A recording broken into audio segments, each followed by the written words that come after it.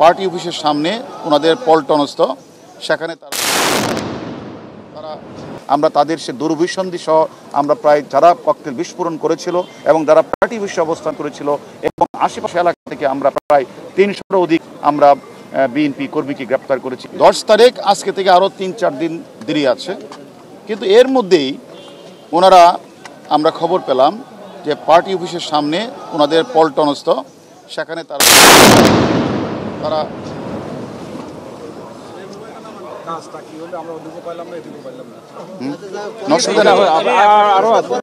হওয়ার কথা পল- দিতে।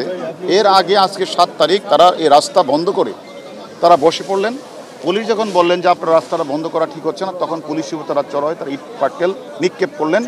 এবং পরবর্তী পর্যায়ে ধাওয়া পাল্টার এক পর্যায়ে তারা প্রায় শত শত ককটেল বিস্ফোরণ করলেন পুলিশের দিকে।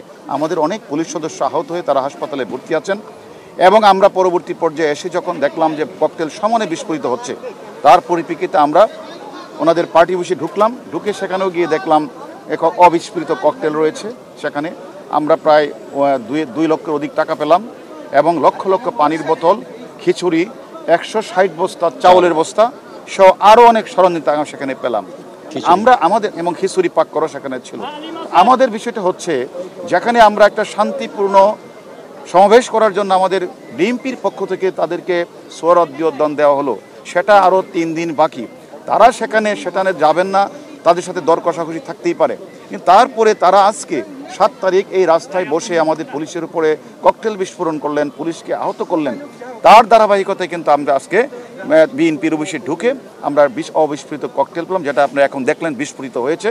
এবং আমি মনে করি এটা একটা তাদের মানে দুর্বিসন্ধি একটা প্ল্যান যে সারা তারা হয়তো ভাবছিল যে এই পানিগুলি এনে, খাবার খিচুড়িগুলি এনে, চাউলের বস্তা মজুত করে তারা এই পার্টি অফিসের সামনে বসে তারা এই এই ঢাকা শহরে যান চলাচল বিঘ্ন করবে এবং তারা বিভিন্ন ধরনের ঘটনা ঘটানোর তাদের একটা পরিকল্পনা ছিল।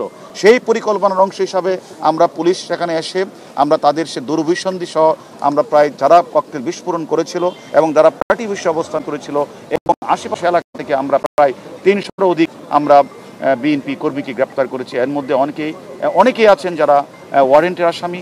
অনেকে আছেন যারা তাদের মামলার আসামি। তাদেরকে আমরা গ্রেপ্তার করে তাদেরকে আমরা আসলে জিজ্ঞাসাবাদ করব এবং তার যাচাই বাছাই করব।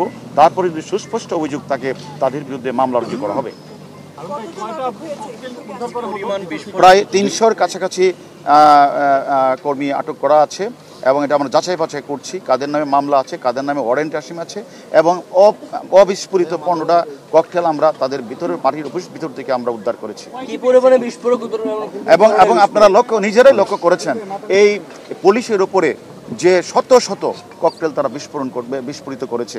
অনেক পুলিশের গায়ে লেগেছে অনেক পুলিশ রাজারবাগ হাসপাতালে ভর্তি আছে। এবং আমরা সর্বশেষ যখন গেলাম যারা ককটেল বিস্ফোরণ করে তারা তারা পার্টি অফিসে ঢুকে পড়েছিল। আমরা সেখান গিয়ে অনেককে আমরা গ্রেপ্তার করেছি। তারা প্রাথমিকভাবে স্বীকারও করেছে এবং অবিস্ফোরিত পনেরোটি ককটেল আমরা কিন্তু এখন আমরা এখন দেখলেন এই মাত্র বিস্ফোরিত হয়েছে।